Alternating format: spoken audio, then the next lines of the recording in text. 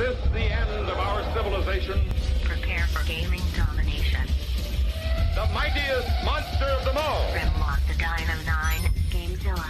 Look, there comes one of them now. Welcome to the Gamezilla Podcast, your last line of defense in major gaming news. I'm your host, Grimlock, and with me in the Gamezilla Media Studios, my co host, my audio producer, Deadite. That's all I got. Oh, okay. I was I was waiting for the Deadite night. Nope, I just cut it. Deadite. I'm I'm now just Deadite. You know, just like I didn't do Grimlock of the Dino, I just did Grimlock, so then I just did Deadite. okay. I wasn't ready for it. We're, we're already super late, so I'm cutting every. Okay, Yep. and then we're gonna. And then I'm gonna. and when the show's over, that's been episode yeah. 277. Wait a second. Why are we late? What took us so long to get started this week? Well, we had to kind of, you know, bring in a new member and get him all all set up, make sure that he was comfortable doing all this wild video stuff. But I would like to introduce on his first episode as the new video producer, Player One Miggy. What up? He gets his full name this this episode only. I swear. Oh yes. Yes. next one he'd be P one me. Yeah, yeah. P1M. Moving on. It's the same anytime, but anyway, there we go. It does not increase the brevity. Yeah, welcome to episode 277 of the Gamezilla podcast, brought to you by.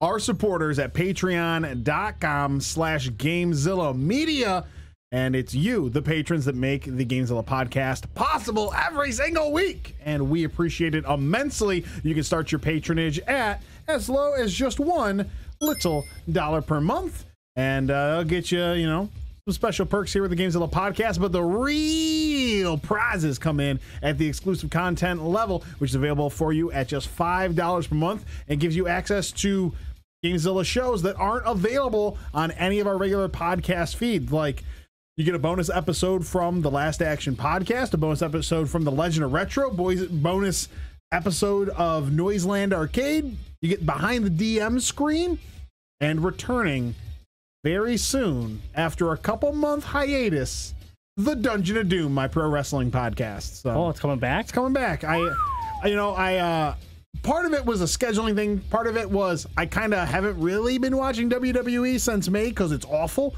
Um, but I, you know. There's a lot going on in the world of wrestling right now, and I, I I want an outlet to be able to talk to people about it and teach people about it. And uh, you know, it's uh, this fall is going to be one of the hottest times in the world of pro wrestling. So if you even have a remote interest in that and you become a patron, you're going to learn a little bit more, and I will be your gateway drug into uh, the silly fictional world of grown men pretending to fight. Gateway drug? Doesn't that sound fun? Gateway drugs. Doesn't it sound fun? This was we were, we're, we're a podcast about video games. But also about drugs.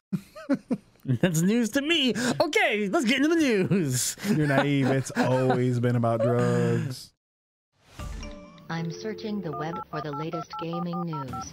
Searching GameZillaMedia.com. Downloading headlines.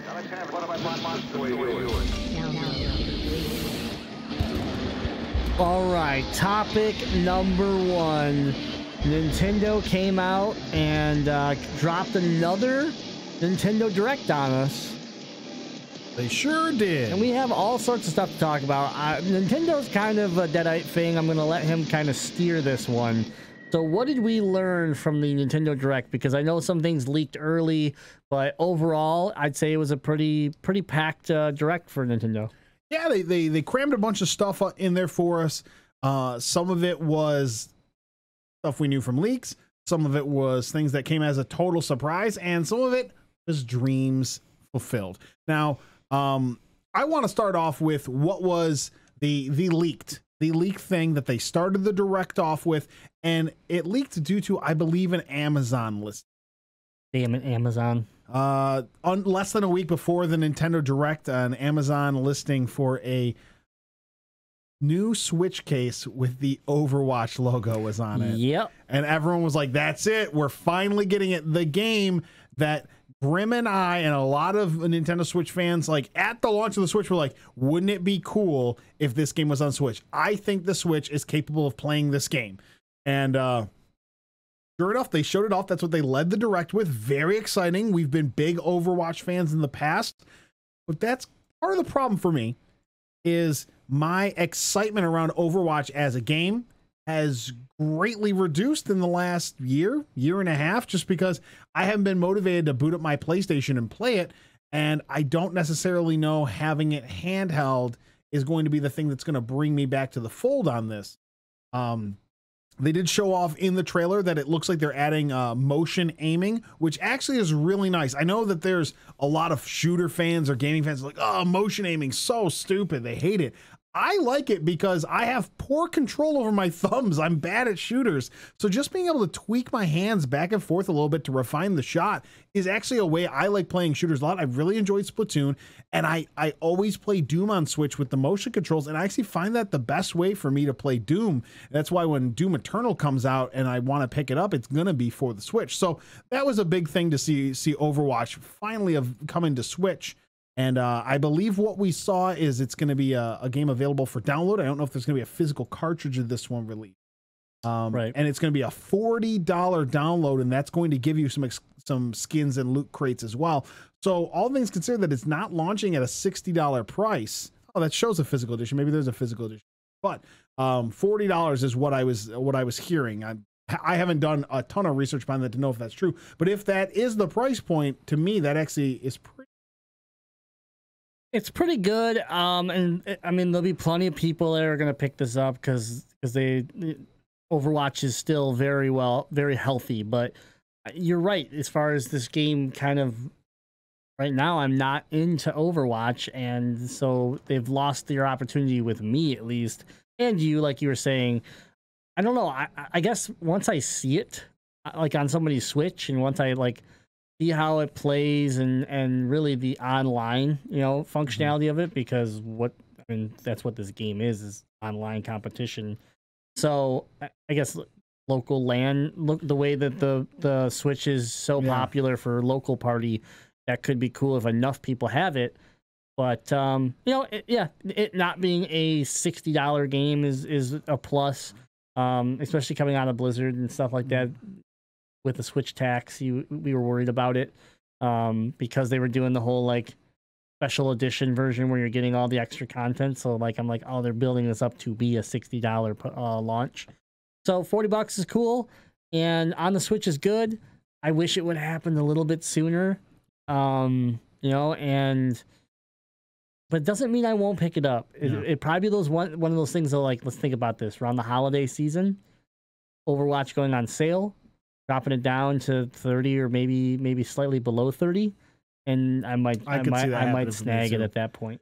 You know what would what would change this from a probably won't buy unless a good deal came across to would really be interested in is if they were to add uh, local wireless cooperative modes Mhm. where you didn't need a full roster of what is it uh, is it 10 or 12 people play overwatch Um Regardless. 10 but like maybe just 12. r- regardless uh to Been a ha- while.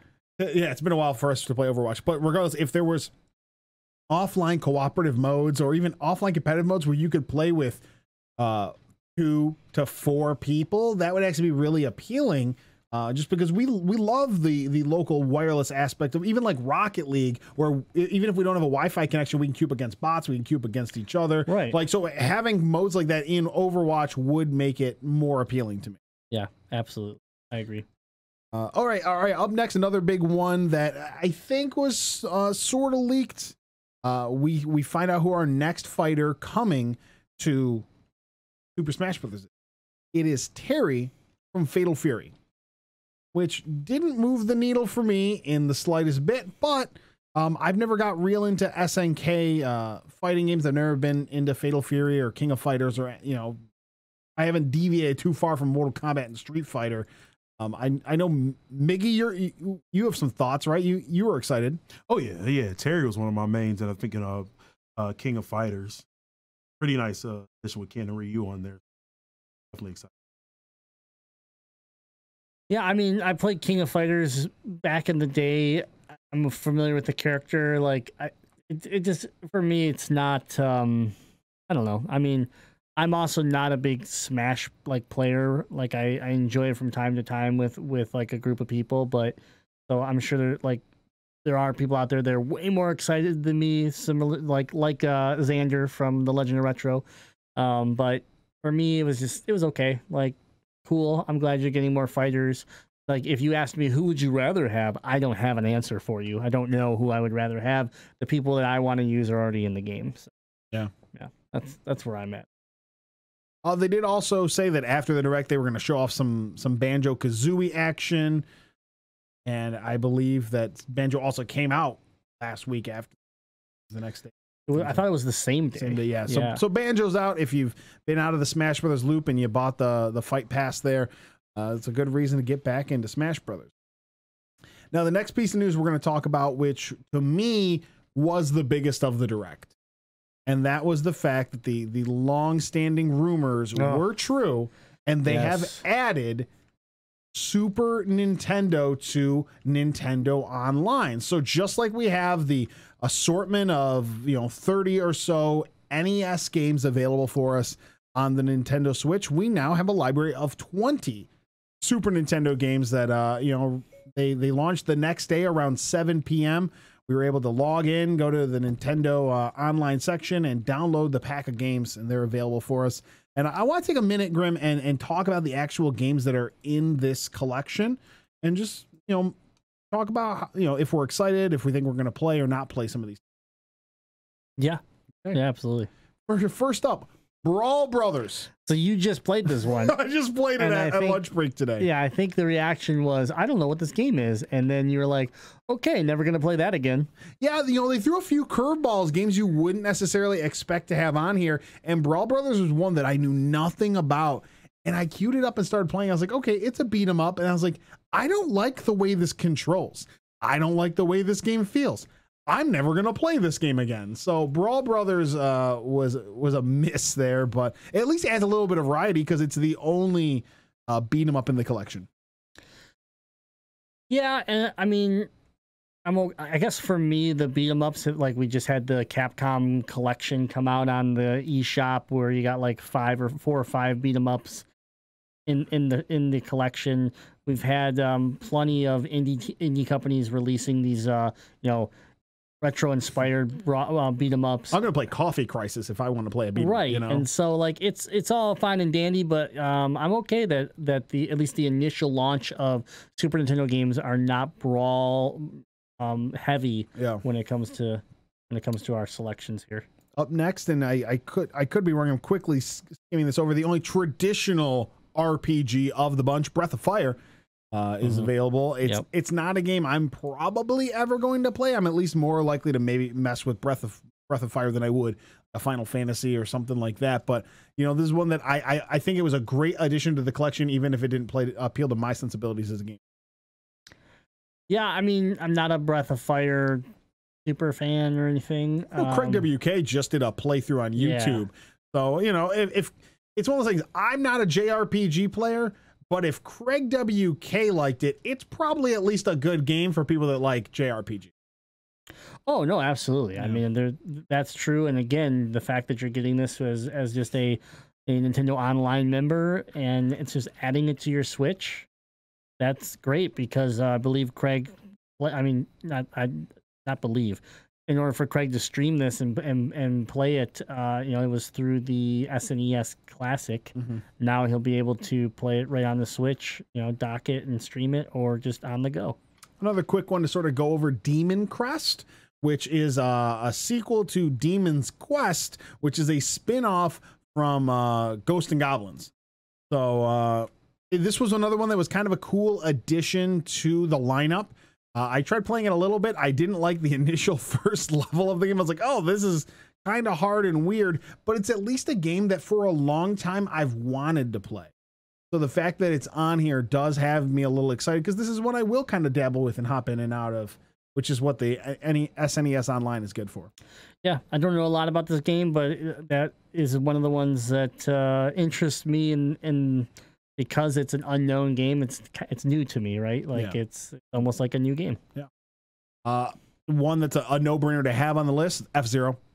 Yep, Yep. solid. Don't don't need to talk about it a lot. It's it was uh it wasn't a launch title. It was like a week after launch for Super Nintendo. The first, uh, you know, used the Mode Seven for racing. It was, I don't know, man. F Zero is great. So if you've never played it before, this is a great time to give it a try. Yeah, F Zero is a lot of fun. Futuristic racing. Uh, Joe and Mac 2, Lost in the Tropics. I've never played Joe and Mac. The fact that this was on here, I was like, yes, Joe and Mac is the type of game that I want to play some of. I'm excited that that was on here. Um, I don't have any more to say about that.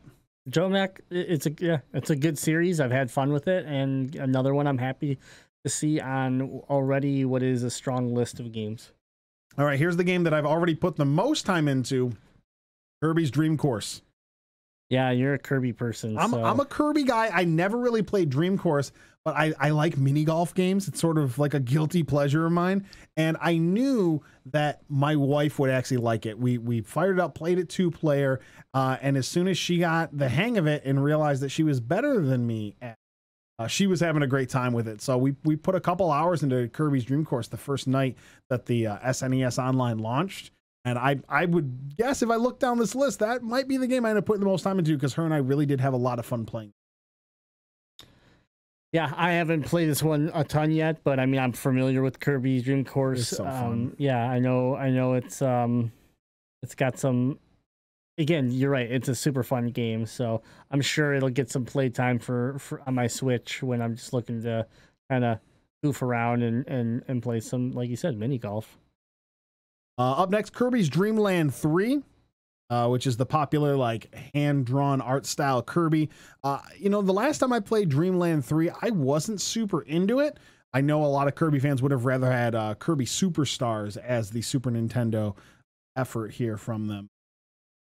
Superstars would give them multiple games, right? That's the It's one- package. It's it's it's like four smaller Kirby games Mhm, yeah, uh, that are really high quality, opposed to a big full adventure. But it's not it's not like Mario All Stars that was a collect. I think I have the name of it. I think it was Kirby Superstars. Um, Pilot Wings. Uh, I get it. It was a launch title for the system, but man, do I never want to play Pilot Wings. So that one could have been left off. Uh, okay, up, up next, Star Fox. I get why it was on there, but I mean, I never want to play the original Star Fox. It hurts my eyes, the polygons. Yeah, you know, talk about a game that that hasn't aged well um, versus others on the SNES. I don't know. I mean, it's one of those games. Every once in a while, I might fire up just to run like one level and then leave. Like Yeah. I'm not interested in playing through that game. Uh, up next is another another game that sh- that used the uh, the special A- S- FX chip that was built into Super Nintendo cartridges that were able to make Star Fox run. Uh, Stunt Racer FX, which uh, according to the direct, this is the first time this game has been released since the Super Nintendo. It was never re-released in any other format. Uh, I'm really interested to see how this game plays. I haven't played it yet, but like racing games, it looks kind of like a fun cartoony racing game. So if I fire this up and it the mechanics of it are playable in 2019, I'm probably gonna put some time in it and have some fun with it. It looks fun. I, again, I don't have uh, hands-on experience with this game in the past, and overall, I think it's um, you know as far as the screenshots and the video that I've watched, it looks like a lot of fun. So yeah, I, I look forward to uh, giving that one a try. Here's another one I know nothing about: Super EDF Earth Defense Force. You don't know anything about Super EDF Earth Defense Force? Well, I'm stupid and I didn't own a SNES as a child. Well, if it's anything, I mean, Earth Earth Defense Force, I think, is a series that's had games released since this, but I don't. I honestly, I don't know the Super Nintendo edition of this, but um, yeah, I, don't- I don't know. I, I mean, it's a side-scrolling shooter, so Yeah, it, it- looks fun. I mean, I'm a fan of that side-scrolling shooting game, but um, you know, maybe I'm I'm completely wrong. What um, what I thought Earth Defense Force was, because that's definitely not the game style I was expecting. Oh, you mean you don't know?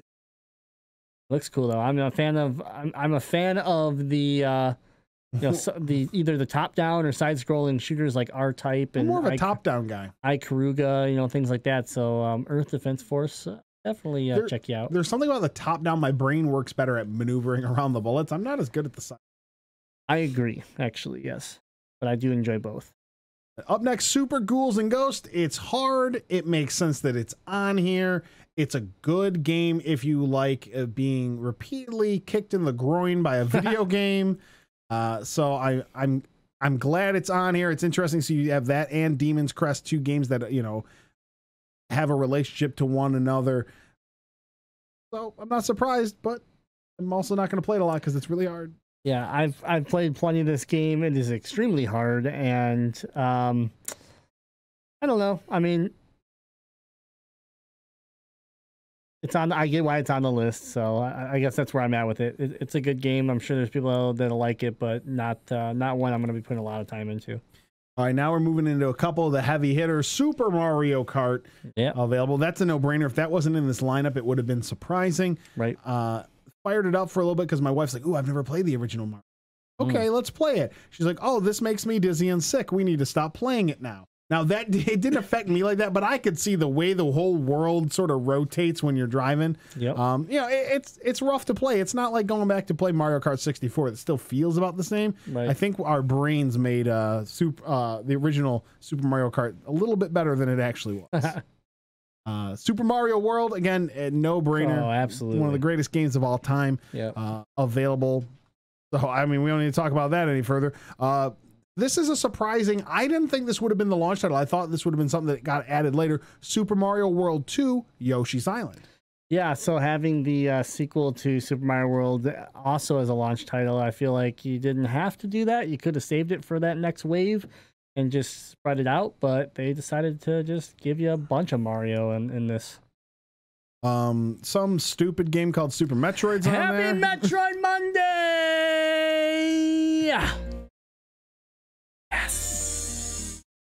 Super Metroid on my Switch. Thank you, Nintendo. You sons of bitches. You giving me just breadcrumbs. You're giving me crumbs right now. I'm waiting for my Prime trilogy. I'm waiting for anything else involving Samus. But at least you gave me Super Metroid, which just happens to be my all-time favorite game. Um, I've already started playing it on the Switch. It feels pretty good. I don't like the button layout that they decided to go with uh, as far as it. So I had to, like I by default I had to adjust it a bit. And again, this is that game that I would really really like a Switch Lite for. Yeah. Um, because like I tried to play it the other day, didn't have my 8BitDo controller, started to try to use the directional buttons on the Joy-Con and really got frustrated. So, um, yeah, but Super Metroid, so happy. So happy it's on the Switch. This is uh top top two games I was the most excited to see in this collection just because I own Super Metroid on the Wii Virtual Console and then I also have a ROM of it on my hacked Vita. So now I can play an honest version because I've maybe put two or three hours into Super Metroid. It was just a game I never put a ton of time into. Yeah. Despite being a big fan of Metroid and the series, it was just, you know, I just didn't have good access to it at, at different times in my life. So uh, this is now officially factored into my hey, I really shouldn't buy video games because I have uh, A, B, C, D, E, F, G game I should be playing. Uh, the fact that I now have Super Metroid on my Switch is now factored into that. I think as soon as I finish Symphony of the Night on the Vita, going straight into a full playthrough of Super Metroid. Very excited. Um, Super Puyo Puyo 2 which when we first saw it, we thought was going to be Kirby's Avalanche they were giving us. This is the one Japanese import we're getting in our North American release of these games. Um, dude, it's cool to have Puyo Puyo. What a great, what a great multiplayer game to throw at us in this collection. You know, Puyo Puyo trying to gain some more popularity when they mixed it in with Tetris and everything here recently on some of the on the game they released for the Switch, and now trying to get a little bit more of just straight Puyo Puyo um, into the North American um, community is good because I think it's it's a solid puzzle game that definitely could um, benefit from getting some of these titles over here and letting people um, en- enjoy them. Uh, Puyo Puyo 99. Maybe, maybe. Uh, okay, uh, we're just gonna hit the next two real fast: Super Soccer and Super Tennis. Sure, I, I. I get it. You had to uh, add some obligatory uh, sports games in there. Um, We're super. is Super, Tech- Soccer any good? I don't even. I'm yeah. tennis video games that aren't Mario Tennis just aren't fun, so I don't even Yeah. care. Yeah, these two are surprising. I feel like these are just solid, or not solid. These are just straight fillers that could have been. You could have replaced them with almost anything, and they would have been a better choice. I mean, I'm. I don't get it at all. I'm not a. Not these two are just kind of a waste for me. And last but not least, Legend of Zelda: The Link to the Past, Link to a Past, a Link to the Past. I'm having a brain fart and can't read.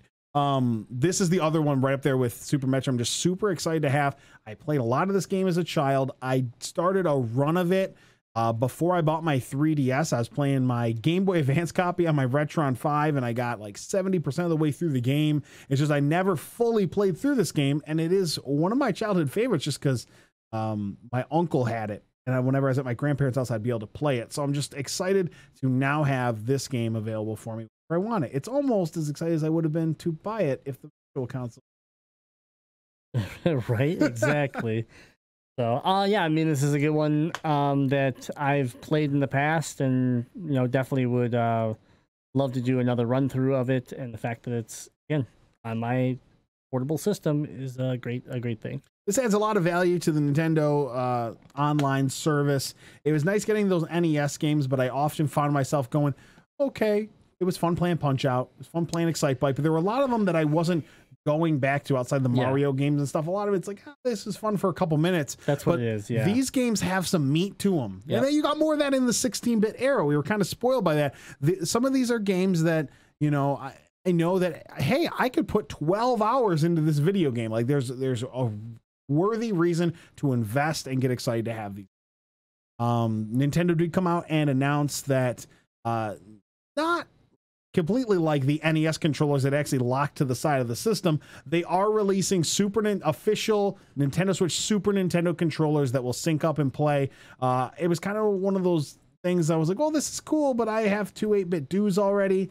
It would be nice to have these because I'm sure they sync up a little bit easier than the 8BitDo. Probably. But again, I already own two 8BitDos, so I don't think I'll be buying these. Yeah, I mean, the other problem too is that uh, I, don't know if they disclose prices. Thirty dollars a piece. Yeah, see, that's the same thing. Uh, They're they're up. Well, I guess thirty dollars a piece. It's six. It's sixty bucks again uh, for two controllers if you need if you want to pick up two. Because I believe the Nintendo one's actually sold in a double pack. You didn't have a choice. Correct. So if these are thirty dollars a piece and you can actually just buy one, maybe that's not as bad, and and maybe it is something that I would uh, be interested in. But overall, um, cool. Nothing that's like gonna move the meter for me like like the games did. You know what I thought about about those NES controllers? How collectible those? Fifteen. Yeah, probably. They probably sold like none of those. Yeah, exactly. Because not not only did you have to be Nintendo Online in order to even get the ability to buy them, You had to order them. then you had to order them. So like they weren't the easiest thing to get a hold of, which means again, as time goes on, there's not going to be a ton of them out there. Yeah. So and that's a lot of times where your uh, valuable items come along. So my first thing that I got.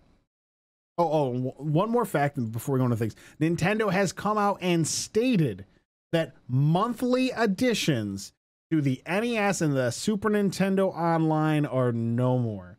They are now going to add things whenever. They didn't they didn't give us a window. They're just kind of like, yeah, regular updates to these platforms will end. They are working on adding more games to both platforms, but we will not, you know, every month receive two new games. And that's actually really upsetting to me because that feels like Nintendo is they the smoke and mirrors like, hey, here's this flashy new set of games.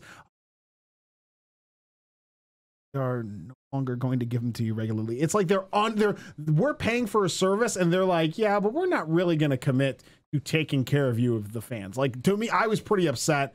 Um, and and who knows? Maybe I'm falsely upset, and we'll get get you know games uh regular but not exactly once per month. And maybe we'll get more games. Maybe you know every three months they'll add 10 games. And i'll go okay this is plenty of games but probably not. I don't know. It's tough because when you take the ex- expectation away of getting your games every month and to the point of like you're just gonna get them whenever we're ready to give them to you, it creates that like like how are we gonna like How do we know? There's no accountability. There's no accountability, and there's no like, what's the notification now? Like before, you could just say this month you're getting this, next month you're getting that, right? Now it's like randomly you're just gonna get what hit with an email or or get a notification on your Switch that says new games available, and you're gonna be like, oh boy, and you're gonna go in and they're gonna be a bunch of trash or whatever. I don't like why they wanted to change this. Like I, I wish and this is you know companies not being very direct or, or just upfront and honest with their customers. Is like why did you change this? Why what made you change your business model before i had to renew my my nintendo online? Like ever. You know like here i'm still running my first initial subscription of nintendo online and they're already changing your policy. You know so far as I'm concerned, when we look at years upon years of of Xbox Live Gold and PS Plus and just monthly releases, like that is the standard. That's what we're used to. That's what we want. We get excited right around the end of the month, beginning of next month, to see what Sony and Microsoft are going to give us. And now you're just going to wing it and be like, "Yeah, we'll give you something when we give you something." That's kind. And if that's not so Nintendo. yeah, it's so Nintendo, and it and it, it may not even be what you actually are planning to do, but it's but because of your piss poor delivery and explanation, um, that's we're sitting here thinking that, and that's uh, it's unfortunate. Yep. And uh I don't know. There's there's one glaring omission on this list of games. And I'm curious to know if there's a game on here that you're very disappointed isn't on there. So um, I'm just upset that I, I have no idea when I'm gonna get Donkey Kong Country. I That's knew- it's yeah, my it's I my it. my favorite Super Nintendo game. Um, you know, almost as inf- almost as frequently as you proclaim your love for Super Metroid, I'm here talking about how the Donkey Kong Country series is my favorite line of games from the Super Nintendo. So uh, when the list came out and I'm looking and looking and looking, like part of like my heart dropped. I was like, oh man, they left my game out. Is there one game for you uh, that you're like, oh, it's kind of a bummer that's not there? I mean, we got the uh, Brawl Brothers. I would have much much rather enjoyed a Turtles in Time. Yeah, but with Um, licensing, you know, like that's tough with like with licensing and stuff. You You're know. Nintendo, get it done. I know they like, should. You know, that's my and, and so my problem now is that I don't know if and when I'll ever get it. And that's like we could sit there and say the same thing about Castlevania 4. We can say the same thing about the Mega Man X series. You know, um, on, like you think about rarer games like Mega Man 7, a game that was you know not that's super expensive to get on the Super Nintendo. You know, so this is you're bringing this virtual um option of Super Nintendo to your platform, but you're you're you're just kind of like teasing us with it. It almost feels like a tease because you're like, "Where's Chrono Trigger? Where's you know, where's Earthbound? Where's you know th- these types of games?" And I'm not saying I needed them all at launch, but but like now that I know I now that I know in 30 days I'm not gonna you know look at a list and say, "Oh, I'm getting Castlevania." Instead, I'm just sitting here and just waiting for you to say something. It, it just for me, like I'm eventually gonna get that point where I just don't care. And hmm. every once in a while, I'll come around and see what you've added. Like, but I'm not gonna. It's not the same where end of the month comes around and I go, "Where's the uh, Where's the post about what we're getting for PlayStation? Where's the post about what we're getting for Xbox?" You know, like it keeps like Sony and and Microsoft have have trained us to like look into this at a certain time. We're we're you know we're creatures of habit, and so they've done a good job of that. And I just don't understand why Nintendo didn't want to do that, other than the fact that they maybe thought they were giving too many games away and they were worried about running out of good games. I don't know. Like you have a giant library, so I can't really imagine that that's uh, like a mindset that you're having. But you know, it's uh it's tough. But yeah, I would Turtles in Time would be would be the one that definitely like clicked in my head right away with with the fact that we got Brawl Brothers. Yeah, yeah, and some of this is going to be tough because you think about uh, getting Castlevania 4. Well, that Castlevania collection, that anniversary collection is out, and I think that's on there. I think about all the different ways we can purchase Mega Man games, and the money goes directly to Capcom. You know, like I, I don't know what the licensing deals they work out for these online games for third party things that aren't already uh, solely owned by Nintendo. So, you know, I don't have a lot of hope for those those really strong third party games ever. Yeah, I mean you're not gonna get like your classic NBA Jam. Where's your Where's your Mortal Kombat at? Or Street Fighter. Whereas uh, this was the era where the where I feel like fighting games started to they well not started. This is this is the era where they really kind of gained Yeah. a lot of their momentum. So I feel like that's something that's missing there. But um, you know, instead we get Super Soccer and Super Tennis. Like Yeah. where's Tecmo Super Bowl? Uh, They probably get a lot. Super Tecmo Super Bowl. Or I think that one had an NFL license on it, Yeah. unlike their original Tecmo Bowl. Yeah. So I mean, it's things like that that they're running into. But um, I don't know. The, the, there's so many. One, one to ten. What, what do you consider this initial uh, launch group of games here? One, one to ten scale, and then we'll, we'll I give it a, an eight. Nate. Yep. Um, you know, for me, I'm going with a seven. Yeah. It's good. It's strong. I mean, we got plenty of haymakers with Zelda and Mario and Super Metroid. Uh, you know, you got classic characters like Kirby. Um, so I mean, and it's a good mix too. So I give it an eight, but I definitely, you know, it gets knocked for the Super Tennis, Super Soccer, and it gets knocked for a couple of the other like rando games that I'm like, again, maybe there's like a cult following some of these games, but overall, they're they're definitely not in the top, uh, you know, top list. And and I guess not everything needs to be top top tier game, but I mean, come on, Super Soccer. Soft. It's soft. It's those soft. those are games you can go out and buy for literally fifty cents. Yeah. Physical. All right. Uh, moving on to just some of the other game announcements. Um, before we get into a few of the other big things to to close things out. Um, uh, a highly sought after Weeb game that Miggy might want to chime in on here. Uh, being ported from the Wii U, uh, Tokyo Mirage Sessions, uh, FE Encore or Sharp FE Encore or whatever it is. Um, Miggy, tell me about this glorious anime sensation. I don't even know what to say about the. I watched the trailer. I go, that is appalling to me. Like it's so far from a video game I would ever play. Uh, but being that you're here and it's not so far off from a game you would play, tell me about it. I know nothing about. I know it's hot, uh, hot title. I think for the uh, Wii U, if I'm Yeah. not mistaken. Um, I wanted to play it um, because uh, they said Shin Megami Tensei, and I was sold there. But the crossover between that and Fire Emblem, um, yeah, yeah, I'll be, I'll, I'll definitely be. Can't wait to get this uh, with my. So I bought this on the Wii U. Um, back when like the Wii U was dying. when there was no games, yeah. well, yeah, back when the Wii U was dying, I just started picking up games that they were throwing on the clearance shelves, and I was like, "Oh, well, this is uh, this is interesting." And looking, and I remember, um, I would put the Wii U by my bed, and then I would just play on the gamepad. Yeah. you know, like Switch style before the Switch. and so one day I grabbed this game, and I was like, "I'm gonna throw this in here and see what this is like." And I threw it in, and I'm like, "What the fuck is this?" and that was the last time I played that game.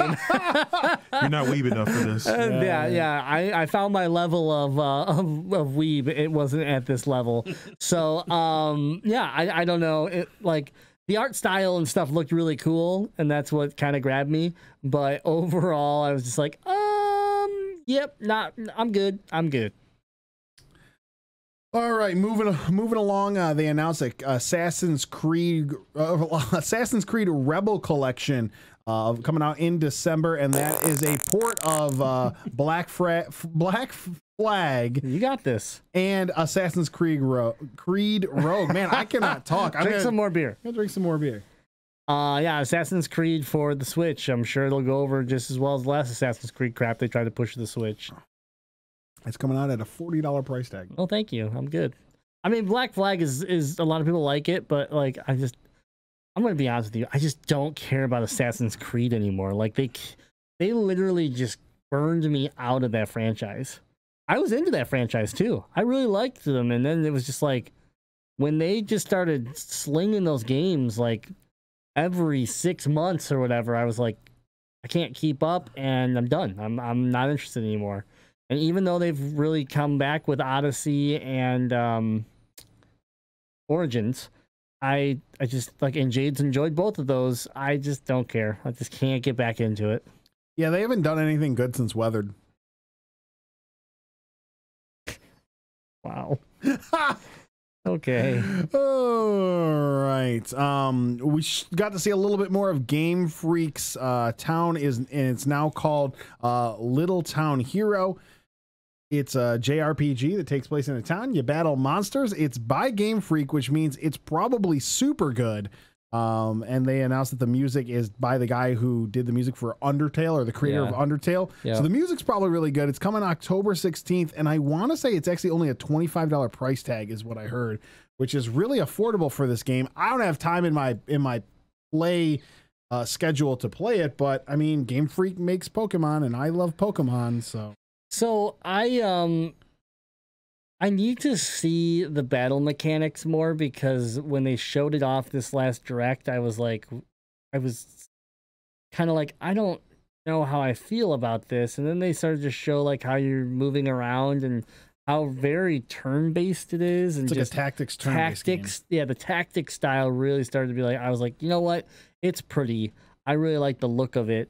But um this now that i've seen more of the gameplay and everything i'm first like when they first announced it i was like ooh a new game freak game um i'm i'm excited but now i'm less excited after this trailer honestly that's fair. and so that's kind of a bummer because again, I like the uh, there's so many games where it's like the art style and everything really I'm into it. And then I see the gameplay and I'm like, nope, if I buy this game, I'm gonna play it a couple times and then I'm just gonna stop. You know, a game similar to like Battle Chasers where when that came out on the Switch. Really liked the characters, really liked the world, really liked the concept that was based off of a off of a comic book. Couldn't get into the game something I can't do anymore. I used to, and I used to play games like this. I just, just not anymore. I don't know. I've been ruined. All right, keeping it moving. Uh, just breezing over a couple quick ports. Bethesda is re-releasing Doom 64 to celebrate Doom's what 25th anniversary. I think that's Doom's 25th anniversary. So Doom 64 uh, coming to Switch on November 22nd, adding to the collection of Doom games that are available. So that's cool. Um, Jedi, uh, Star Wars Jedi Knight 2 Jedi Outcast, uh, a game that I didn't like on the original Xbox, is now being ported to the Switch. So I heard some do- people in the community that actually were excited about this. Like at first, I like laughed because I was like, "Really, this is the game you're gonna you're gonna port?" But um, some people really liked this game. I just, for me, was this was not one of the Star Wars games that uh, you know, grabbed my attention. I bought it used and you know played on the original Xbox because again I was playing the original Xbox in 2009. So well after its life was over and I was playing I was like this isn't fun. I just don't like it. I just couldn't get into it. yeah. Um Okay, moving into a, a few of the big things before we close things out. Uh, they, there's a free to start or free to play Kirby game called Super Kirby Clash. Uh, it's been described sort of as a Monster Hunter esque Kirby game. It's four player co op. You have different powers. You can level up and stuff, and you're just trying to take down a big boss. Um, I didn't download it yet. My wife wants to. I, I, I don't see me putting any time into this unless my wife talks me into Yeah, you know, I don't know. Like I, I, I kind of got turned off by it when they kept making sure that you understood that it was free to start. Yeah. Like that's the words they use. Free to start. Free to start. And I was like, what the hell does that mean? So I don't know. It, whatever. If you're a Kirby fan, then maybe it's something that you'll check out. But overall, it kind of feels like this is a mobile game that probably belonged on the phone. They showed off more Luigi's Mansion 3, uh, and uh, there, there's going to be uh, an eight player uh, against each other arena style ghost catching mode. And to me, this seems super cool. It, the Luigi's Mansion 3 continues to be a game that uh, charms me and has me excited to add this to my collection. And you've played it, so Yeah, so I I've never been uh, much of a Luigi's Mansion person, not because I didn't like it, but because I just never really played it. And so yeah, and so when I got to play the demo at PAX, I was like, "This is a this is really cool." Um, right after PAX is when you know the direct dropped, and they were like, "Yeah, four v four Luigi versus Gooigi is basically it, is basically the teams," and um, it looks fun because it kind of looks like a Mario Party esque, like different things where you're catching ghosts and trying to shoot them through goals. You're playing bumper boats and trying to collect coins. You know, it's just it's just that added mode that I think will be fun, especially if you got uh, you know again local gameplay with several people with switches that all have Luigi's Mansion. Like you're gonna be able to um, have some fun with it. But the game itself felt so good and uh, actually kind of turned into probably a, uh, a pickup for me uh, day, for at launch. I'm, I'm I'm actually excited for this game. It every time I go back and put more time into Luigi's Mansion because I have Dark Moon. I never played the original. I got Dark Moon Yeah. for my birthday two or three years ago. Uh, my wife just bought me a copy because she just she want. I was getting something else for my birthday that year. She just wanted me to have something to open that day, and I'd mentioned a couple times in the store, and it was like a select twenty dollar at that point. And then so I started playing it then, and I'm like, wow, this is such a charming and fun game. And she's had a lot of fun playing Dark Moon on the 3DS. And when three got announced, I go, I'm interested because I, I've liked what I've experienced before. But between what I've seen over the last couple weeks from this game, the co-op, the I mean the multiplayer modes that look super fun, and my wife straight up telling me uh, we're buying this, it looks like it's a buy for me too. So I, I'm excited to to play this game and what they showed off at the direct uh, did what a direct is supposed to do, and it's sell a video game. Yep, absolutely. Uh, we got uh, a mess load of stuff uh, from Pokemon Sword and Shield. They showed off a, f- a few more minutes, um, including a couple Pokemon and, and some of the mechanics in the game. Like the, there's going to be some cooking and crafting type mechanics. Um, they showed off sort of the Pokemon camp, which is an area that your Pokemon. It kind of looks like the daycare, something where your Pokemon can level and grow stronger. They show some some minute stuff, but really, I want to talk about what's important when you're seeing things from Pokemon. They showed off two new Pokemon. Yep. Polteageist, which is a ghost type Pokemon that is a haunted teapot that is adorable. And it's what I like about Pokemon because I'm not mad about kind of Pokemon that other people think are kind of stupid, like uh, Trubbish, the garbage Pokemon. I love them. So the fact that this is just a haunted teapot has me excited because it's uh, silly and adorable, like Pokemon should be. Uh, and then Cramorant is, I believe, uh, Cramorant. That's what it is. Cramorant, which is this bird Pokemon who has a special ability that whenever he uses like surf, he catches a fish in his mouth and shoots it at uh, his opponent and doing more damage. So it's cool to see that they're adding cool, unique abilities for Pokemon because this this is something that makes this Pokemon interesting and something you'd actually train. Because I'm not going to train some random dumb looking bird, but now that I know he chokes on fish and spits them at people, called a gulp missile. I'm into the bird. So, um, Yeah, um, it, it, it's an interesting like addition to the mechanics. I I definitely appreciated it, and I feel like the more that we're sticking around with this game after we've after we questioned it initially, it, the more we're starting to feel that poke that special Pokemon like you know feel of the game, and just really uh, starting to get excited for the game again. You know, and, and getting again getting hands on at PAX. I realized how cool the um uh what's the, um what's the gigantic mode called Gi- again? gi- uh, Dynamaxing. Dynamaxing. Yes, that's it. I was thinking Dinovite, which is Yeah. that dog food that Yeah, makes I your dog's coat shiny. And so understanding how it fully works and seeing its limitations and realizing you can strategize around it basically got me back on board. And then everything that we've been seeing after that is just building on this. So yeah, uh, both cool Pokemon. I knew you'd be into both of them, but I, I figured you know uh, you're a Ghost Pokemon fan, so I knew the the Teapot one would be a, a big win for you. I like there. There are two categories a good ghost Pokemon. Spooky, adorable. Yeah, That one's go. adorable. Like And- lit, like Litwick. Adorable. And you can drink the tea. Ooh, as long as I get haunted, I'm in. Um, up next, uh, t- two more big things I want to hit on. Again, we're not covering everything, so just watch the direct if you if you want more than just our opinions on the highlights. Uh, but we they showed off uh, a big waste of uh, evening being shown a ton of crap about Animal Crossing that doesn't look fun at all. Yeah, well, you're not an Animal Crossing guy. I'm just saying this game doesn't look fun at all. Have you ever gone fishing or bug catching in real life? In real life, yeah. No, you can do it in Animal Crossing now, and you don't have to worry about getting sweaty. I'm not gonna lie. I I when I started playing Stardew Valley, I was like, oh, maybe like a game like Animal Crossing could win me over. then I watched like five minutes of the stuff from this new game and go, no, this looks dumb and I don't want to play it.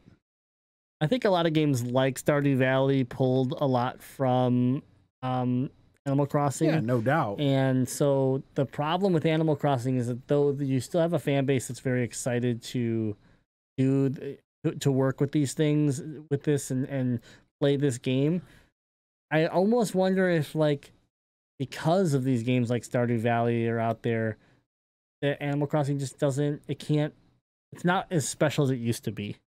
Like when I, I can't even watch this idiot run around like Naruto with his arms behind him. I'm not gonna be able to play the game because the running animation is awful. I cannot play this video game. yeah, but can you make a a flimsy axe?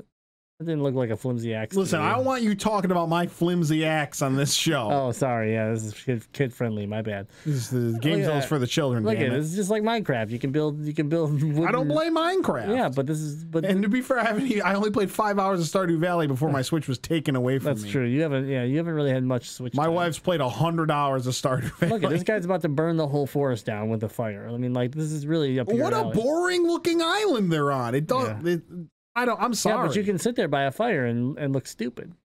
I understand some people are then you're excited for gonna this game. It just looks. It looks so boring to me. Yeah. I um I really enjoyed Animal Crossing in the early years when like the GameCube, you know? Yeah. Um it was it was a fun game. I just to now I now I look at it and I feel like it just hasn't evolved enough. And and I just for me like it's not grabbing me. I don't think I'm going to buy it. I know there are people out there that are super pumped, like again, like Xander from Legend Retro, who's who's a big uh, Animal Crossing fan, and there's just people that love Animal Crossing. I will say the fishing has always been fun, but I don't know. I just it's, it's not. I I think I'm on board with you. It's not doing it for me. And and again, I know you know because there might be people listening that are like, "Oh, Deadite's just an angry idiot." Like, what does he know? I understand that different people like different types of video games. There's people that would see Jurassic World Evolution, a game that I love and sunk a ton of time into, and uh, think is great. There's people go, "That's super boring. You're just making dinosaurs and looking at them inside cages."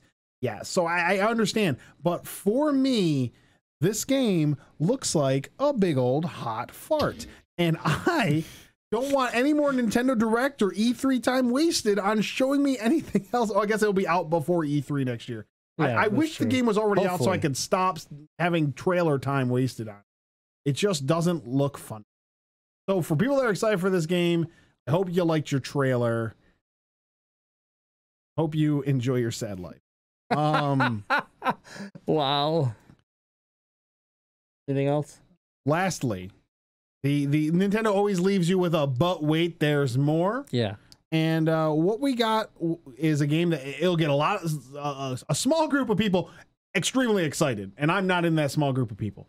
They announced that uh, we are getting Xenoblade Chronicles Definitive Edition in 2020. So it is a, a HD version of the original Xenoblade, which was sort of a cult hit on the original Wii. Didn't sell very many copies at all in the US. Uh, but Xenoblade is now a series that we've seen other releases and and other games do successful uh sell successfully for Nintendo because Xenoblade this game was ported to the new 3DS when it came out. We've seen Xenoblade Chronicles X on the Wii U and then now Xenoblade Chronicles 2 and a DLC that's its own full game um, for Xenoblade Chronicles 2 on the Switch. So I think there's a lot of people that have never had an opportunity to play the first game that are going to be excited to go back and play it.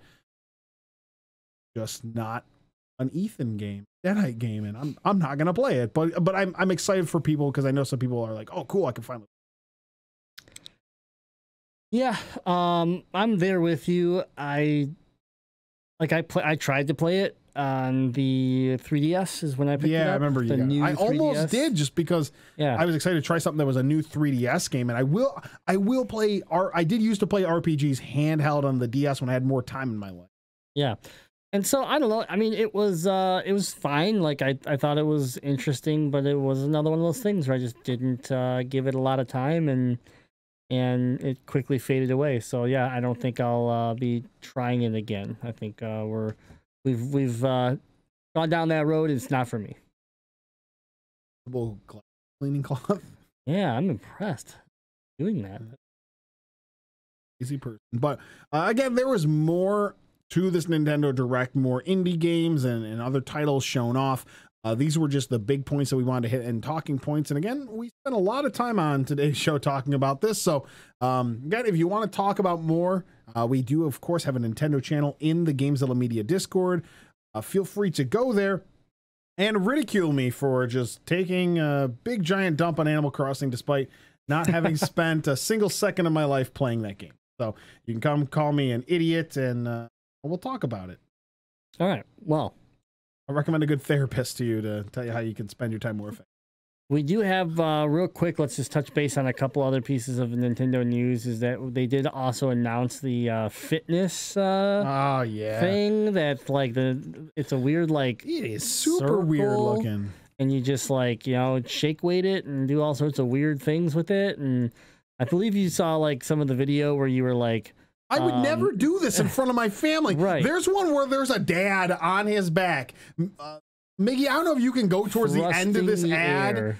Uh, a little bit further. There's the one where the dad's. Uh, it's uh, well, they're in Texas. Yeah, in Dallas. Stop there. Stop there.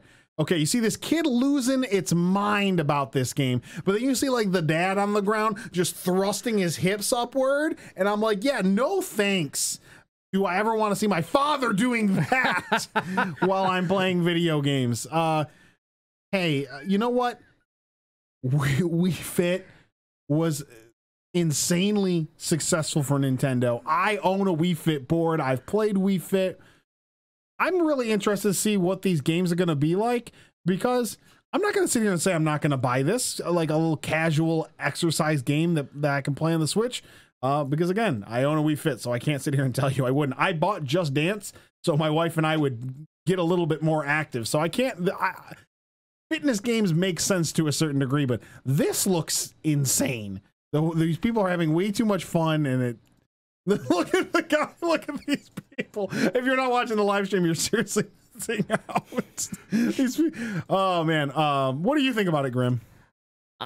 You know it's really weird but if anyone's gonna pull off something like this it's going to be nintendo i think That's the best the- one. the- it's like it's like this ring again with the Joy-Con, and she's just jamming it back and forth, and like but she's real happy yeah, everyone's having the best time of their life. i'm just waiting for the things to fail and break and snap and like shatter into people's faces like uh, like I, i'm curious like it's hopefully a metal band but there seems to be some plastic on this thing that i feel like again people that are being that aggressive with it is just gonna break and like cause eye injuries and stuff like that but um overall i mean it's not a Wii Fit board. I don't think it's you know it's not as um when I guess marketing wise when I look at this I'm not as like intrigued by it as I am when the Wii Fit board came out because it was just this weird thing that like I bought I put on the ground and I did all the stuff with.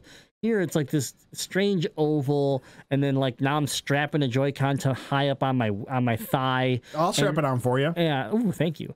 And so like I'm just kind of looking at this and I'm like, hey, it's cool, but um, you know, overall, like I don't I don't want to say, hey, it's cool. Hey, it's weird, and I just don't know if it's gonna work. Like I look at this and I go, this is Look at that. Yeah, that guy- yeah. Just kicking his legs in the air. but that like with his whole family cheering him on. yeah, Oh, God, I'm dying. I don't know. It to me just seems like um I don't know how well the um Labo did, but this seems dumber dumber than the Labo. Yeah, no doubt. And so, dude, this is know. dude, Nintendo's gonna make millions of dollars. the on this kicker the kicker is, is that they will make money off it especially considering if they um if that like shit people believe or or are proved that it actually is a good workout and that it actually can be this fun interact because that's the thing the second you can make it interactive and you can make it a game people will buy it That- Yeah. absolutely because i hate getting on a treadmill or whatever and running for a half hour an hour at a gym but the second that you can turn it into like a game to me I'm way more interested in doing it. So that's the kicker. If they if they can catch that magic again, like they did with the Wii Fit board, then yeah, it's going to be a big success. But either way, it's really freaking weird. It's about to make hella money on it. Yeah. So that leads me to the last piece of Nintendo news that I wanted to talk about, and that is that they filed a new patent for what looks like um, a hinged Joy-Con. And so basically how the reason why I wanted to bring this up is that I looked at the uh, patent and I go, you know what? That actually makes a lot of sense because so many times, especially on the airplane, on my flight home, I hold the Joy-Con or I hold the the Switch in a way where I it I actually fatigue from it, like where my my arms or whatever. I'm like I don't really want to hold it this way, but if I tilt it down or whatever, I'm not really getting the screen the way I want it to be facing me. And so I I kind of noticed I was like, huh, you know this thing. And, and again, this is why the Lite intrigues me because it's smaller. But I kind of noticed like long term when I'm a four hour flight home, just holding this switch in one spot where the hinged um, Joy Cons would allow me to keep the screen facing me, but it would allow me to change my grip that I have, which is really what I wanted. I wanted my I wanted a more of like a straight wrist where I was I was angling my wrist, you know, to on the airplane and you're limited in space in the airplane and, and stuff like that. So it wasn't like I was gonna pull a tray out and throw it in tripod mode and pull the Joy Cons off and be more comfortable. But these intrigued me because I go, this actually is the exact thing that I was kind of complaining about on the airplane, where I could I could change the uh, the grip uh, hold on on the switch itself. Uh, it's a smart idea. Doesn't mean it's ever going to come out, but they did file a patent about it, and it would evolve the Joy-Con once again. And you also kind of wonder what like their only idea of this Joy-Con is not, can't be just simply being able to tilt the controller a little bit. Like you know, they probably have other reasons why. Hey, if we did this, we could also do these 20 different things with the Joy-Con. Oh, I mean, it fits into the fitness ring a little bit better when it's got that Right, hook on yeah, it. Yeah, yeah. so you're gonna straight it wraps around your- kids! It wraps around your thigh just a little bit better instead of just being a It will- straight piece yeah, of plastic. Yeah, you know, uh, you know, if I were to get married again, you know, I would have, you know, would have had I'll wear a garter that was a, you know, a bent Joy-Con. Right. Yeah, around on the thigh. Oh, Exactly.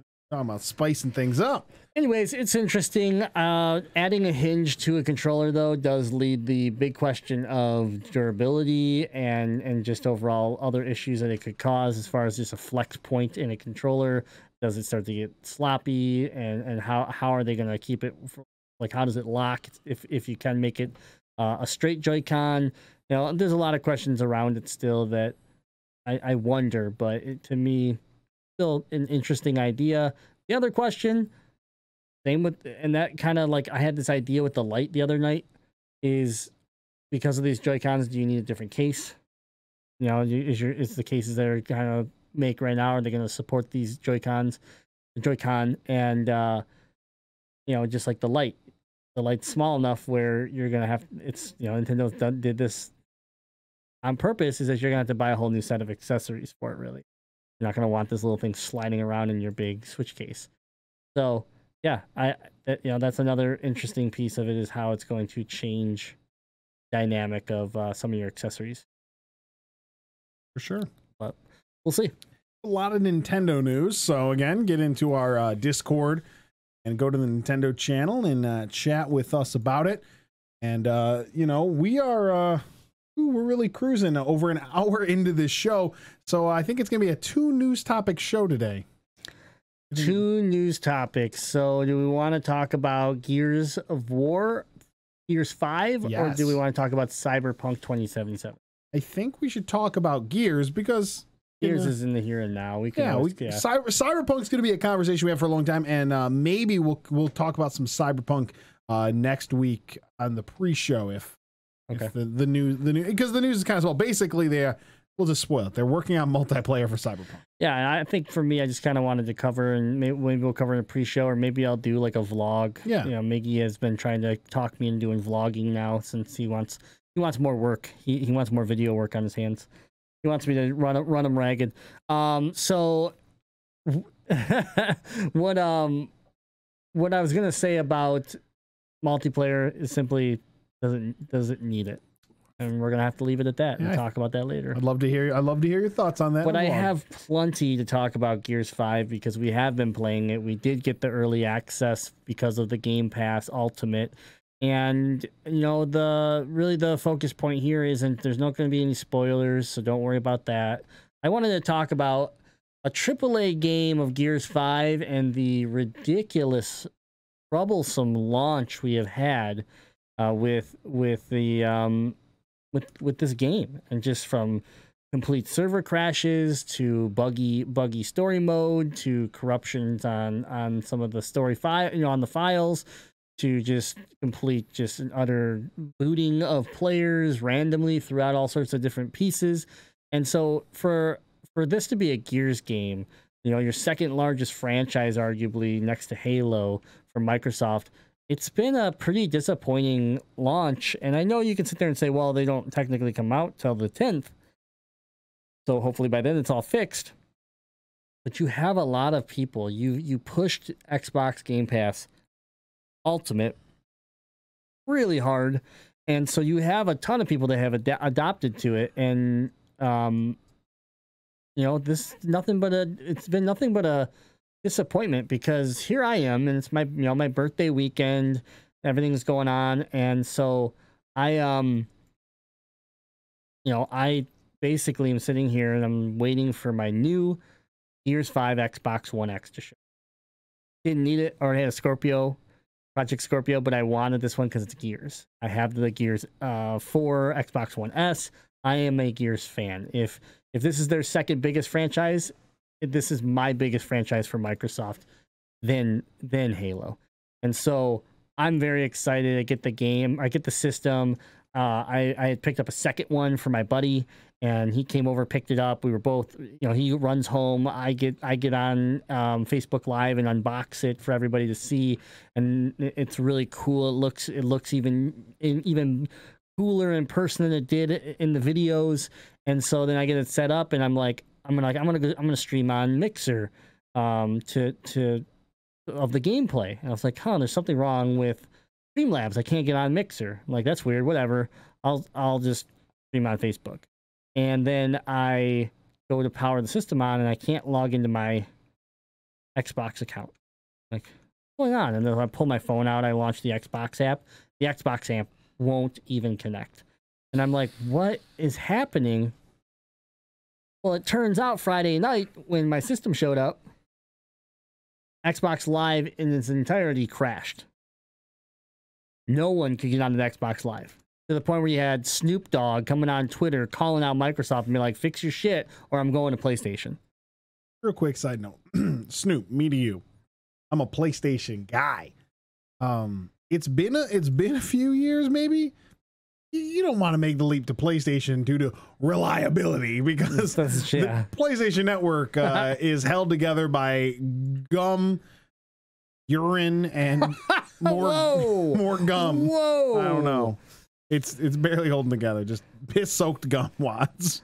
Well, that um that damn. So stick with Microsoft. Yeah. Um but anyways, so Thursday I download the game on my Project Scorpio because I just can't wait for Friday.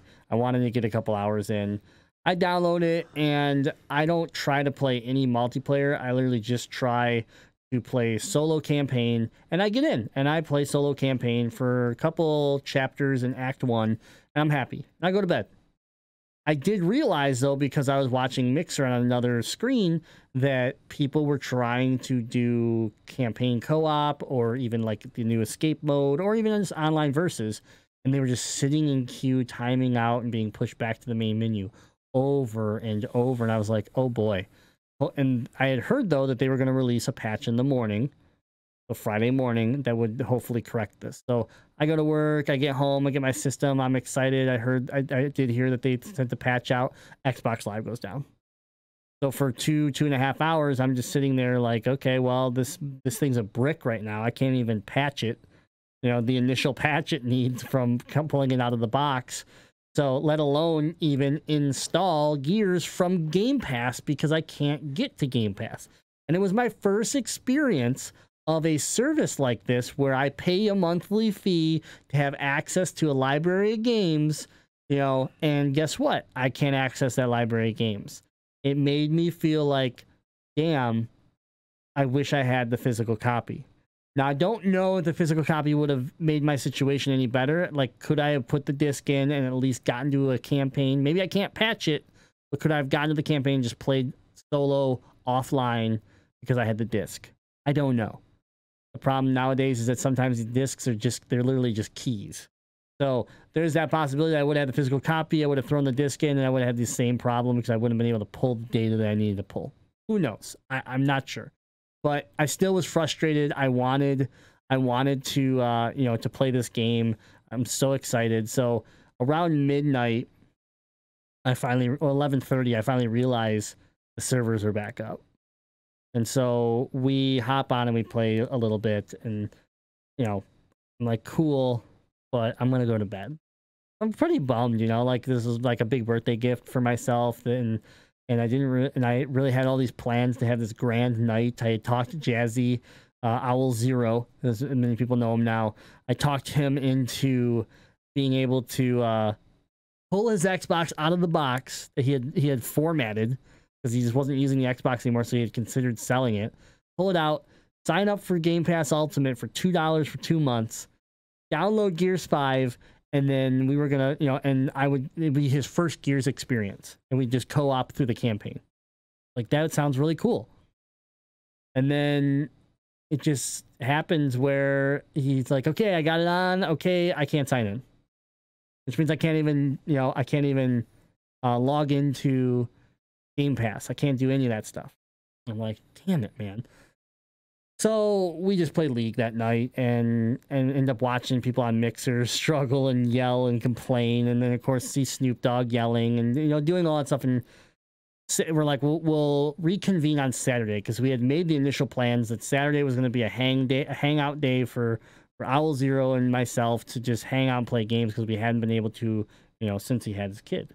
And so his, uh, you know, his significant other was super nice and was like, "Hey, you know what? You haven't really hung out with Grim at all. Like, I think you need to have a like a, a, a guy's a guy's day to play video games and just chill." I was like, I was like, "She's awesome, dude. Like, tell her thank you because I, I, I've, I've missed him. Like, we haven't had the, the time that we normally have, and it's understandable why." So we made the plans. We're like, "Cool. Then what we're gonna do is we're gonna co-stream the campaign of Gears." and that way it'll be and it'll be um, Jazzy's first experience to to Gears. We get in, we we log in, we start playing. He's having a good time. He's having a hard time with the getting used to the me- the mechanics because It's a unique game. it's a unique game, and it- and and I think um, Invalid put it a good way last night when I was talking to him in, in chat. Is that it is um is wonky. It's not bad. It's just wonky. It's weird, and and once you adjust to it, there are things about it that I like more than other games, and there just are things that are just like it's different. And when I switch back to another game, it's takes a minute to get used to it, but I eventually do. So he gets used to it. We we go through Act One. He's having fun, but then we get to Act Two, and Act Two kind of opens the game up in a way that Gears never has allowed before. Gears has been very linear, Mhm. and so um, this allows this kind of opens up and allows you to have side missions and allows you to kind of do things that you know. This is I guess if this is if you guys consider this a spoiler, this is like the only spoiler is that the game opens up. And I'm not going to talk about the setting in case you don't know where you're going. I'm not going to talk about anything, but all I can say is that by the time we got near the end of Act Two, uh, Jazzy just stopped and was like, "Seriously, dude, this might be one of the coolest like levels in a video game that I've ever played." And by the time we finished that part of that chapter, yeah, he was like, "I think this is actually the coolest level I've ever played in a video game." And he's right. It was beautiful. It was unique. It was so different. And that's the thing I like about Gears is that the story is good for like we have so many shooters out there that like they try to do a story mode and they're half-assed all the time, right? Because they only care about competition. So this Gears isn't that mm-hmm. way. I mean, like you can have you can say there's gear there's Gears games in the franchise that are not as memorable as others, but overall, you can't you can take five games of Gears smack them all together and sit there and say and even if you wanted to take uh you know um gears of war judgment day or whatever like the prequel and stuff so you take six games and smash them together and you can really say this is one hell of a store overall grand story that travels multiple generations of, of families that you're following and things like that that it really is awesome. And I'm so excited that they are trying to make a movie of it and stuff because it it is to me it's that good that it deserves to be a film. It deserves to be uh, that story needs to be told for the people that don't want to play video games. And so, um, we had a great time and, and like that ex- that moment that he had like i was super happy i got to share it with him but this is when like we had what would rip us out of the game is the bugs that would cause one of us to get booted out of the game randomly and then the other person would then be frozen and like stuck in whatever room they were in we both would have to kill the game and have to restart jump back in problem is you don't get to save whenever you want so you fall back to your last checkpoint we had this happen to us four times. Oh, The Woof. last time was the killer. It was pretty much what broke what broke us and finally had us call it a night. And that was because we had finished a mission we had gotten into a very important cutscene. Very important. It kicked us in the middle of the cutscene. It kept the audio playing. oh. So some of the excitement that you were about to find out, the things you were about to see and hear, you were hearing but you couldn't visually see. And Man. and what made it worse and what finally set it all off was that when we went back in, we had to redo the whole mission to get back to the cutscene. So yeah, Man, it- that's bad. yeah, it's right. It's so frustrating and like That's again, almost anthem. Yeah. It's anthem esque. Yeah, and again, the thing about it is like when these problems don't it won't are gone when they're fixed, you are going to have potentially and I'm speaking unfairly here because I don't have the whole campaign beat yet. And, and I It could it could Halo Five you, it could Halo 5 me, but, but- it won't. It won't. but I am really, really, really liking this right now to the point where, like, when this is finally all said and done and we can play and not have to worry about this this crap, it could be the best Gears I've ever played. And that's hard to say when you think about like the first Gears and how, and how they did some things. Like there'll be experiences from those those gear those games that like you'll never be able to to beat. But overall, I've really enjoyed this the build up of this of this story so far. So the game very cool very pretty. I'm really impressed. Uh, i downloaded it on the pc the xbox one x. Um, i got to play on the pc with ray tracing and everything turned on with the new graphics card. Gorgeous. I mean compared to gears 4 which had a horrible pc launch with tons of like to this day miggy miggy tried it just recently. To this day it runs like shit on the pc they never got it to work right gears 5 is a masterpiece on the pc as far as visuals uh, it looks great on the Xbox One X, so you know don't don't get too upset. It looks really good on the console, but um, yeah, I mean, once they figure out these server issues and, and everything, they're they'll be great. It's just that's tough when you're when this is your launch and you're having this problem, and uh, you know it led me to think about one thing, and that was this is that scene right now what we're watching. This is this is what the thing that happened. So um but anyways the the thing that, ha- that that's got me thinking about was game pass.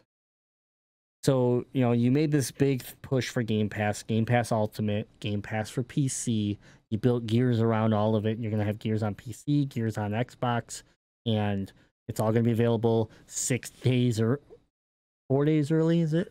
When did we get it the sixth so like four days early from launch and all that's happening and like you um you have to wonder the stress on the servers and and and Microsoft not being ready for it real, realistically causing all these problems. You know like yes i'm not I'm, yes there there are some bugs that clearly the coalition the, the developer is working through and they're patching their game but at the same time we had major xbox live problems. We had server problems. That you, that i don't blame directly on the coalition. That i blame on microsoft's network. And just and just like they seem to within a very short period of time all of a sudden things got better.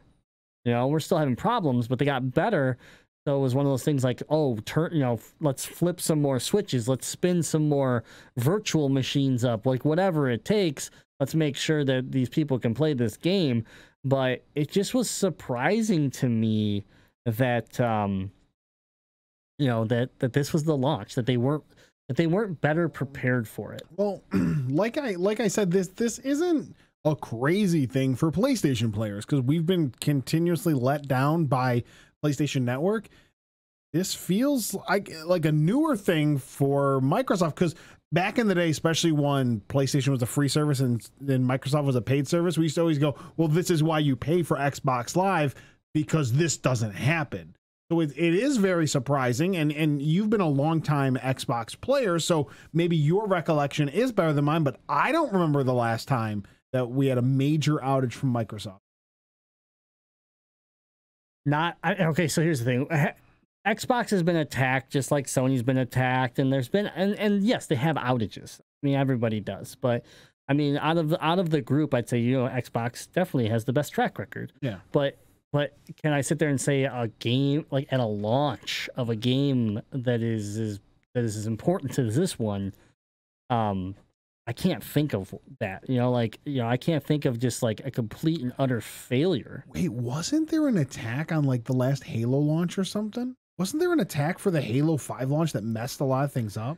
So It was either a Halo launch or was a Call of Duty launch, so I Yeah. could be confused. Um, I feel like you're. I feel like the Call of Duty actually might be the. Yeah, uh, maybe that's what it was. what And it could have been thinking of. PlayStation. That might not have been.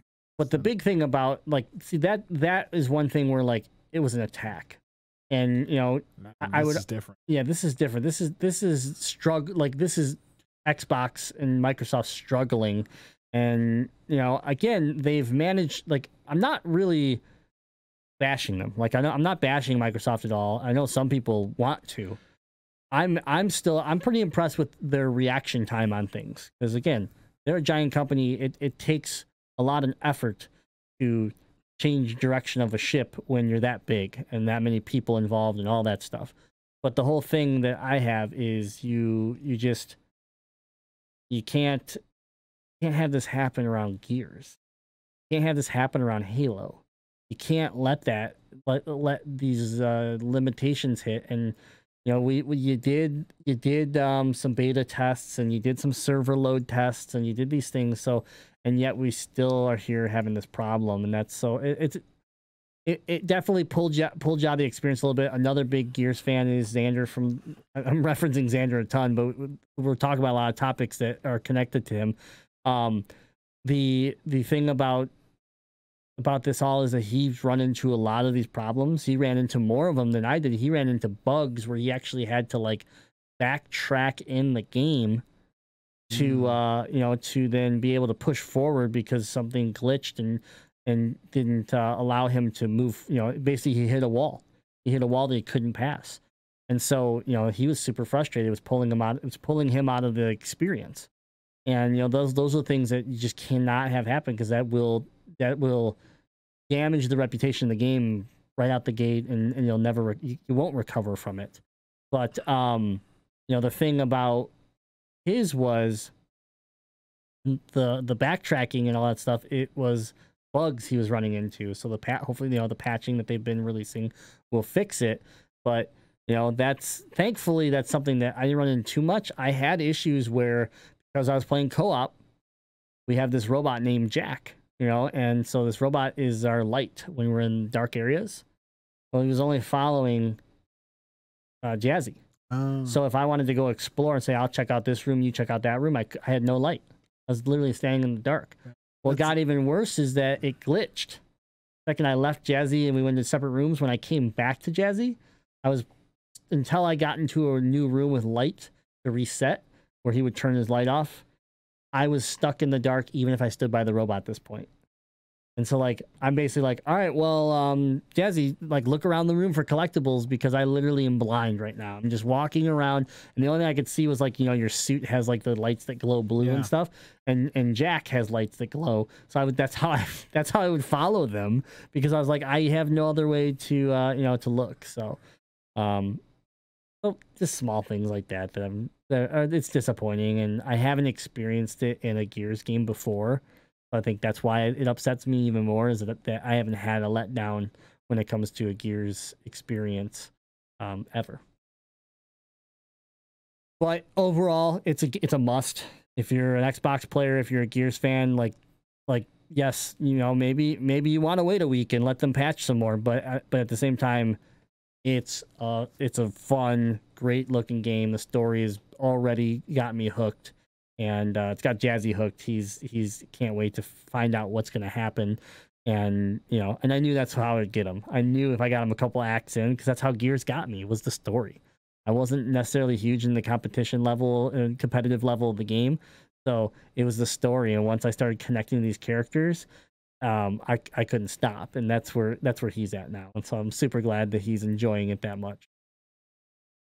And I don't even need to go and do a Zilla update because that's my Zilla update is is my Gears of War experience with Jazzy, who first time Gears player, and and the experience he's having uh, right now is super cool. All right. Well, that sounds like that's pretty awesome. My, my Zilla update. I'll, I'll do one real quick, and uh, you know we'll we'll see if Miggy has a, a gaming moment of the week. He feels like chatting about it all. Um, but my, mine's a pretty quick one. I was recently gifted two new pieces to my video game collection uh, that are two of the coolest things I now have in my video game collection. Uh, and they were gifted to me by the person that I would say helped me start my video game collection. Uh, I have an older brother, and so it's logical when you have an older brother that they help to tribute to your video game collection. So, um, he is going through a process of downsizing. He will uh, potentially be moving in, in the near future. So, he had some things that, you know, he was like, hey, would you want some of this? I don't want to take it with me for moving. And he's like, I kind of thought I was going to have a big video game collection one day and kind of realized that it's not going to happen. I'm not going to do it. He's like, so I thought these should be somewhere that is more of a little bit more of a video game collection. And uh, the video game collection he essentially helped me start. So my brother was like, would you like my virtual boy?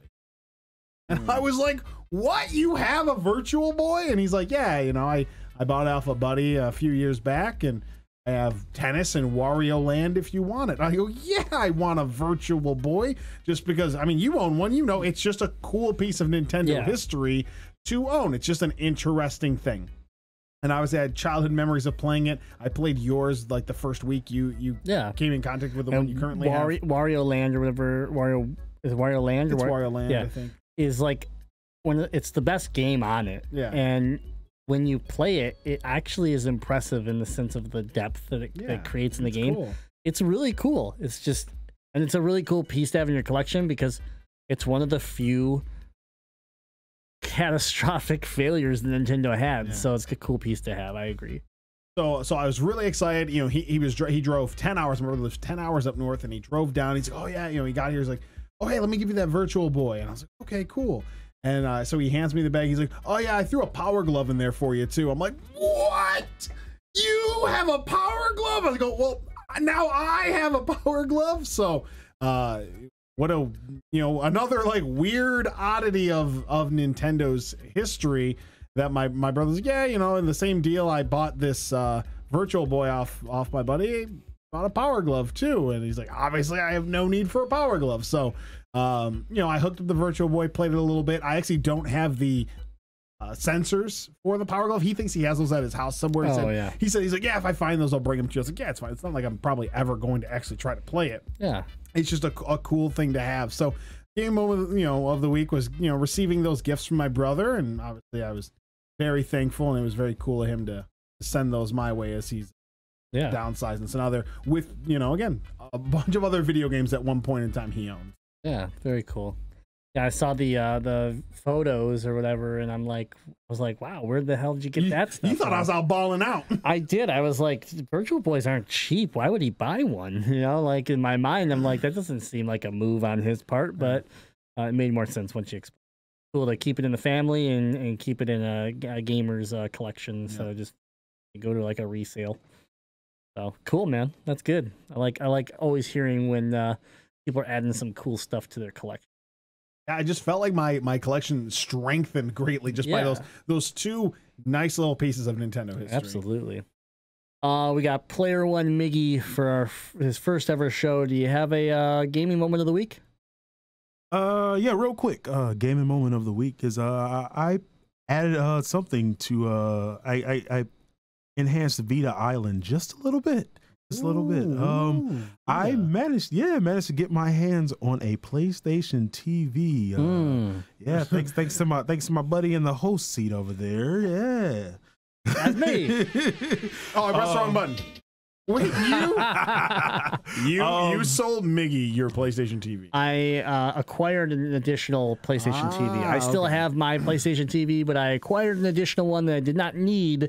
And I remembered that he had mentioned he was looking for one. So I said, hey, you know, you're still interested? And uh, he picked it up. yeah, so. yeah. Just want to let you know you saved a bunch of goats' lives when you uh when you text me that day because I was great. I think I was gonna make the sacrifice to, uh, to summon one. yeah, yeah. Well, I just, Oh, it certainly is a demon from the toilet. Yeah. Is where the PlayStation TV is from. I mean, the cool thing, the, the cool you thing still about have it- yours, right? Yeah, I didn't want to sell it to Miggy. You know, I, yeah, you jerk. I, I, I need to own the worst video game system I've ever bought. so. But the cool thing about it is, I don't know if you hooked it up, uh, Deadite, to play, but you um, know I did. I'm not going to spend forty dollars and never try it.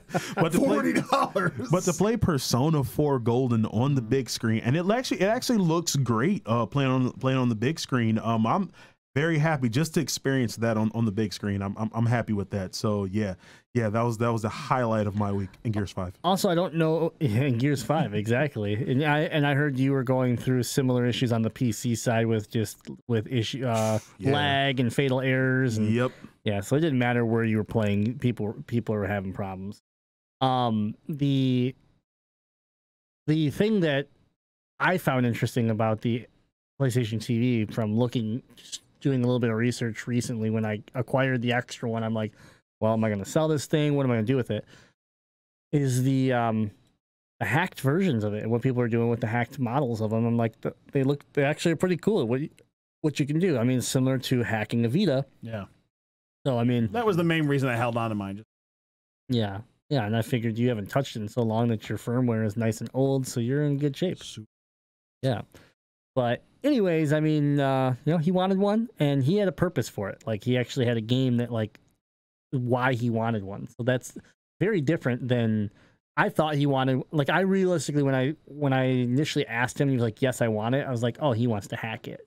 But in all reality, like that that might happen one day. But he actually had a legitimate reason why he wanted one. Every everything I own is hacked. So Yeah. I let this one slide by this time. Yeah, and I know I know you hate the thing because you did run into a bunch of its limitations. Um, but if there was a game that like it's a straight up lie. Everything was a lie about the PlayStation TV. everything was a lie about the PlayStation Vita, so why'd you think it was gonna be any different?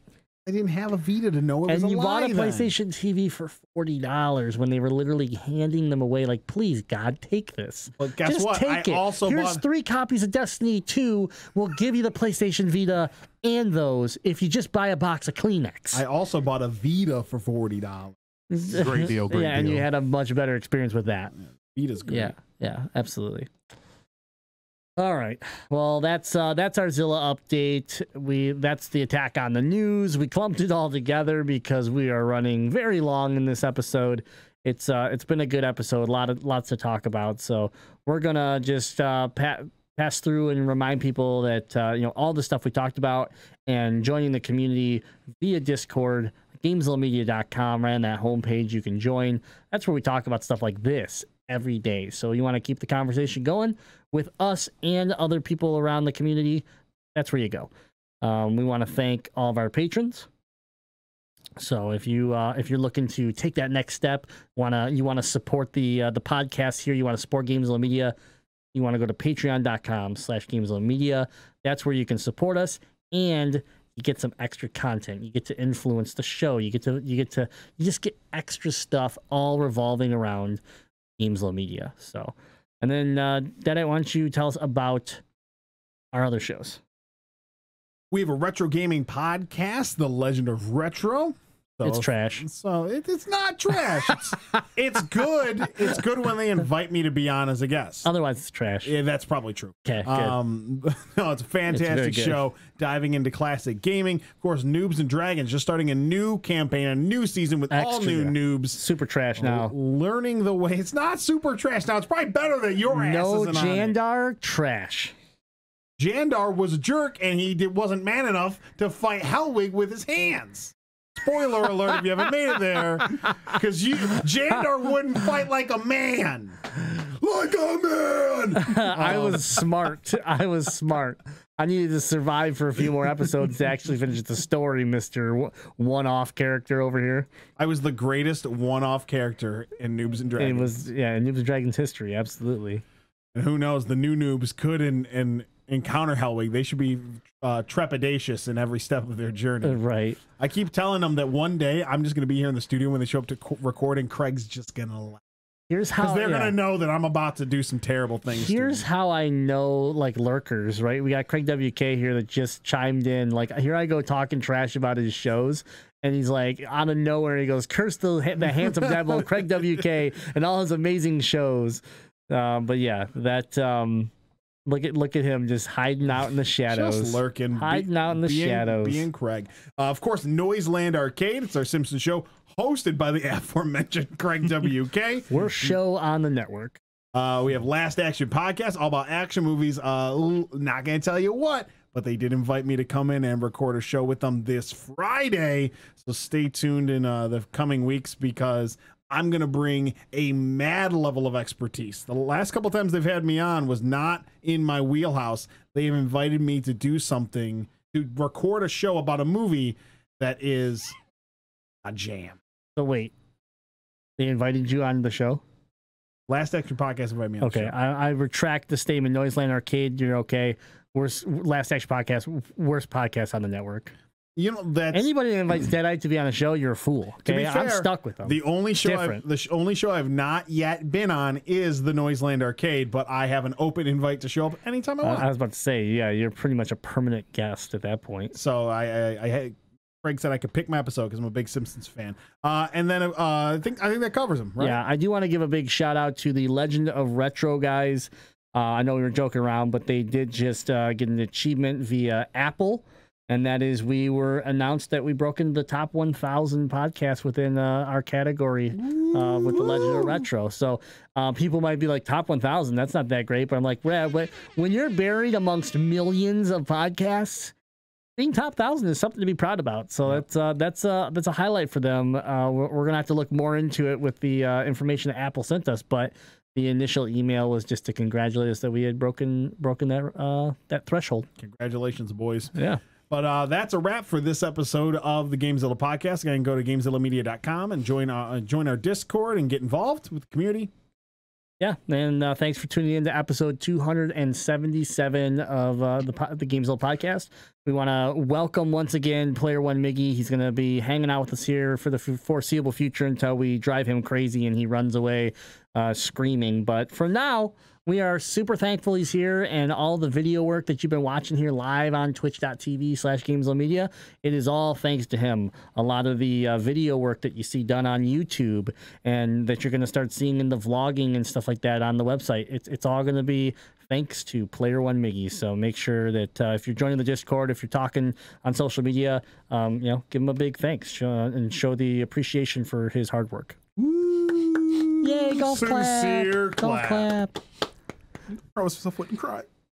All right, guys. Well, thanks for hanging out. Remember, we are your elite free DLC for all your gaming news. And until next time, game, on.